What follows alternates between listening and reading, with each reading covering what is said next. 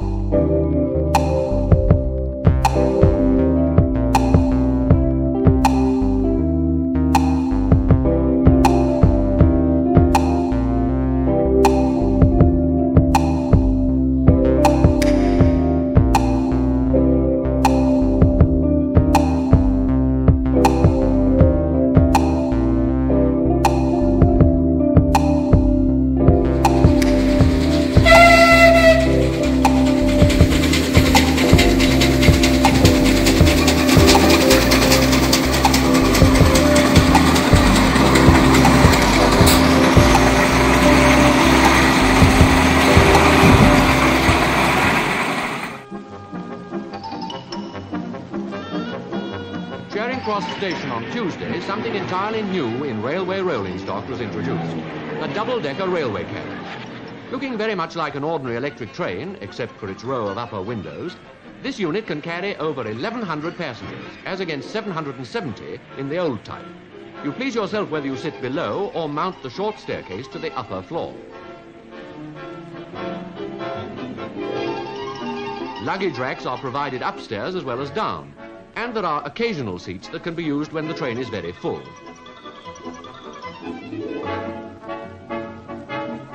Mr. Herbert Morrison, accompanied by Mr. Barnes, the Minister of Transport, inaugurated the first run.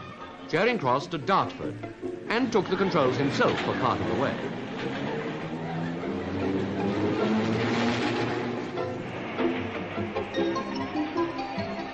The staircase runs up centrally from each compartment.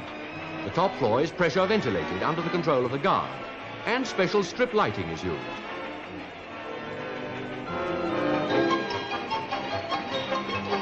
The new coaches, remarkable for their ingenuity of design, are only six inches higher than the old.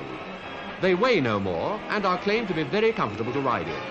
But before any more are made, the present train is to be thoroughly and practically tested in daily use by the travelling public.